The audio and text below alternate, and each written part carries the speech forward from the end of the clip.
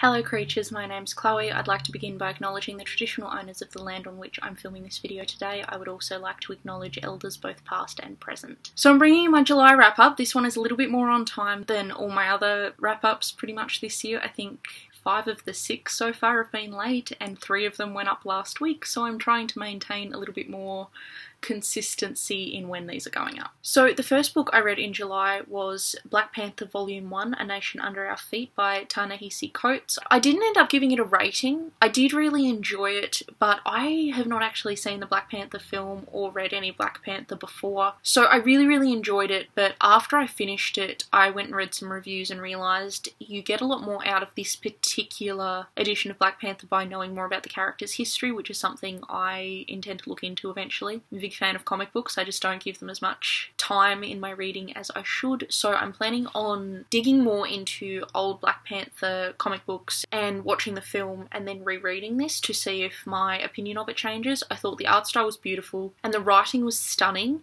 but this read to me like something that you need context to understand it, in my opinion. But I did really enjoy it, even though I didn't give it a rating. The next book I read was How to Catch a Mermaid by Adam Wallace. This is a children's picture book that I read on Libby. It popped up when I was browsing their fantasy section and I didn't actually realise it was a picture book when I clicked into it, but it was super cute. It's very, very short. There's only a handful of words on each page, but really beautiful colours, nice style. Again, I chose not to give it a rating because it is so short and it is a picture book, but I did read it this month. The next one is Hot Sex How to Do It by Tracey Cox. This is a relationships guide from the 90s. It was interesting. There were some gender stereotypes in there that I found a bit questionable, to say the least, but it was really, really interesting. It got a lot into relationship dynamics and how to make sure you and your partner are communicating effectively. This is part of another video that I have planned, but I don't know how long off that's going to be because I've got to read a lot more books before I'm able to actually make it. I didn't give it a rating because it's a self-help book. Sometimes I rate them, sometimes I don't. This one I chose not to rate because A, it's practically historical, it's over 20 years old. It's not as accurate as it could be, and this one I feel is really take the bits you need, discard the rest, which is what other self-help books are obviously as well, but some go into different spaces, kind of, if that makes sense. So after that I read I'll Be Gone in the Dark by Michelle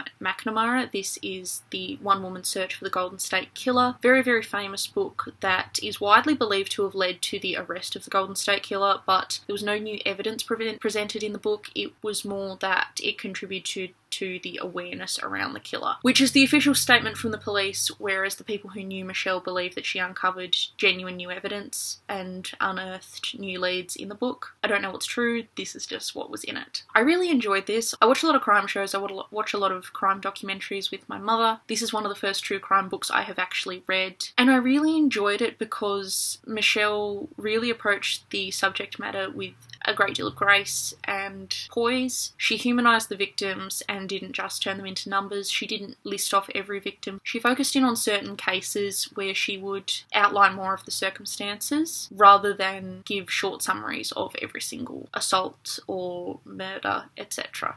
I'm not going to say too much about it because it is about a serial killer. It, it's dark content, which I know a lot of people can find very confronting. Personally, I'm very afraid of serial killers. It's it's a thing. I always have been. So for me, reading about them is kind of, I don't know, a defense mechanism, kind of. I feel like if I can learn more about them, then it will make me feel safer. Whether or not it actually works is up for debate, but that's that's part of why I read this. I really, really loved this. I thought it was beautifully written, very well researched, and interesting. Plus, Considering that the author actually died before she could complete it, I felt her friends and family did an excellent job of completing her work to the best of their ability from her notes. I did end up rating this 4 out of 5 stars. The Fifth Gender by Gail Carriger. This is part of her Tinkered Stars universe that at the moment only consists of this book and another novella. I really, really liked this. It's a murder mystery on a space station. I really enjoyed it. It was more about the gender and sex differences in the main character's species as opposed to his love interest, who is a human. Our main character, Triss, lives on this space station and he is part of the Galloway race, which has five genders. I'm not going to go too much into how that works because that is the core of the book. It's almost a study in interspecies relationships in a socially complex galaxy, which I really loved. It was really, really interesting, very well written, I felt, and everything in it was explained very, very clearly, even though you are bombarded with a lot of new information, it's not overwhelming. I really enjoyed it. So the romance is between Triss and Dre. Dre is a is a detective on the space station. Triss works as a cultural attaché. When a ship from Gal, which is Tristol's homeland, docks at the space station, requesting aid in investigating a murder, he and Dre are thrown together to do so because in Triss's society, murder, assault, crime isn't really a thing with how they've developed as a species. I can't explain it too much because it's so short. But yeah, it's really, really good. I very much enjoyed it. I did feel it could have been longer, and the main relationship is a tad insta lovey, just a little bit. So I would recommend being aware of that before you go into it, but I did really enjoy it. That was 4 out of 5 stars. No Matter the Wreckage by Sarah Kay. This is a poetry book. I liked it. I didn't find it that emotionally resonating. The poems were beautiful, the writing style was beautiful, but it just didn't click there for me, so this was only 3 out of 5.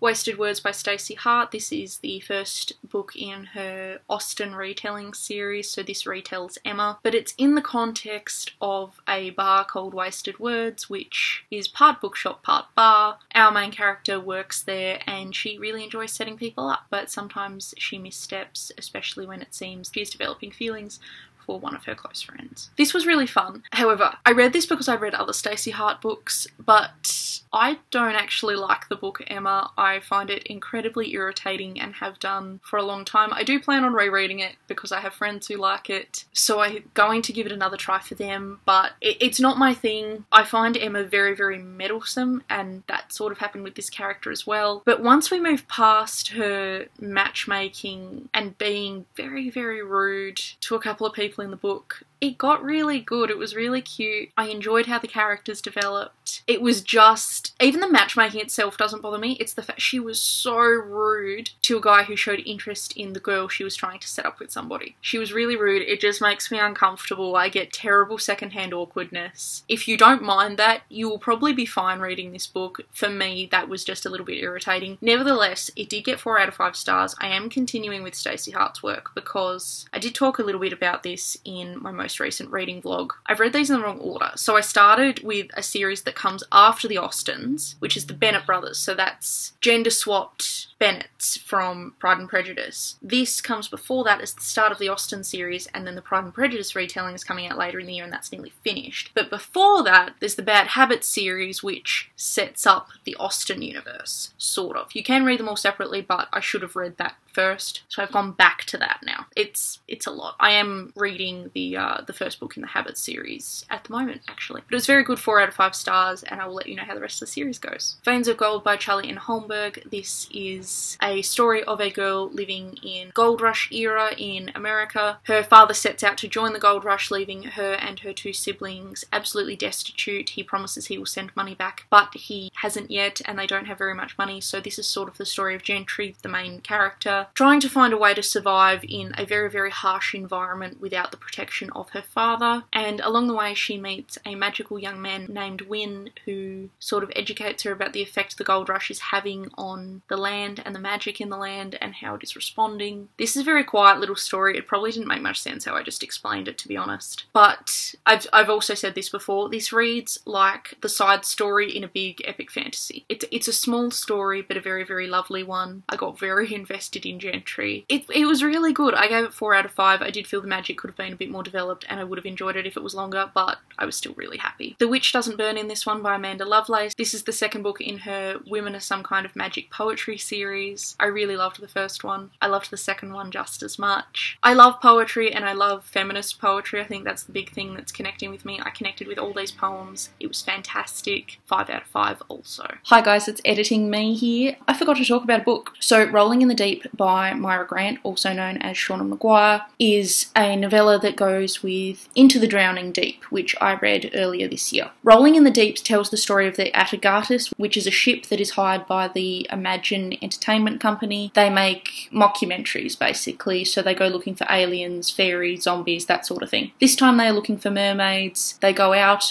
into some of the deepest waters known to man over the Mariana Trench, and bad things start happening because they may have actually stumbled across mermaids.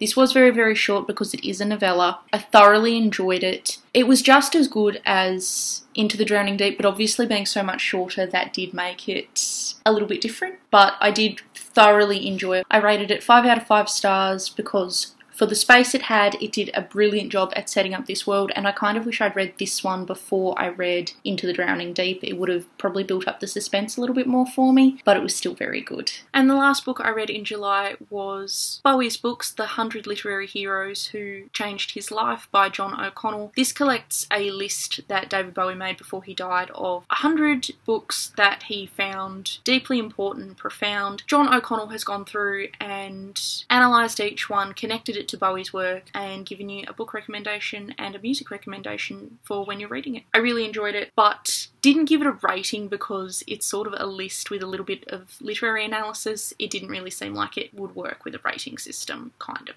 So, those are all the books I read in the month of July. I know that I didn't rate a lot of books this month, but I, I, sort of couldn't, so that was interesting. I am hoping to read more again next month. I have hit 150 books on my Goodreads reading challenge this year, which is technically 153 because I did read the Modern Fairy Tales collection by Holly Black this year, but I read that as one book rather than individual books. So I'm technically a little bit ahead, which means I'm halfway through, but I need to read a bit more if I'm going to catch up. So that is it from me. I hope you enjoyed this wrap up. All my social media links are down in the description box below.